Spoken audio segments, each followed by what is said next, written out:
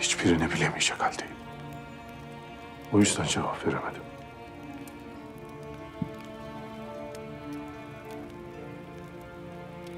Sen Mevlana Celaleddin.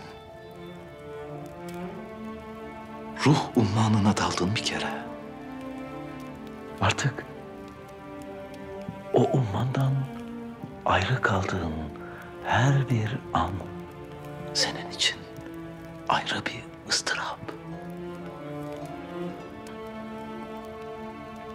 Sema et. Sema et de kurtul şu ıstıraptan.